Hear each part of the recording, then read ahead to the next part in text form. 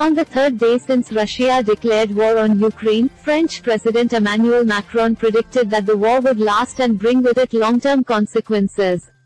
Speaking at France's annual agriculture fair, he said, If I can tell you one thing this morning, it is that this war will last. This crisis will last, this war will last and all the crises that come with it will have lasting consequences. He added that the world must prepare for a long war between Russia and Ukraine.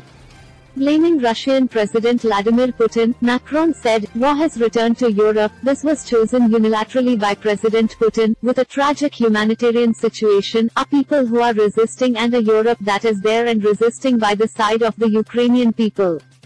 Follow live updates on war. French President Macron has called an emergency meet of his top ministers and military security officials to discuss the situation in Ukraine on Saturday. In the run-up to the outbreak of war, Macron had repeatedly tried, in vain, to broker a summit between Putin and US President Biden. On February 24, Emmanuel Macron had promised that France would respond with no weakness to Russia's act of war in Ukraine. He said that sanctions toward Russia will be on the level of the aggressions it is itself guilty of, on the military and economic level. Several Western countries have imposed sanctions on Russia following its acts of aggression in its neighboring country, Ukraine.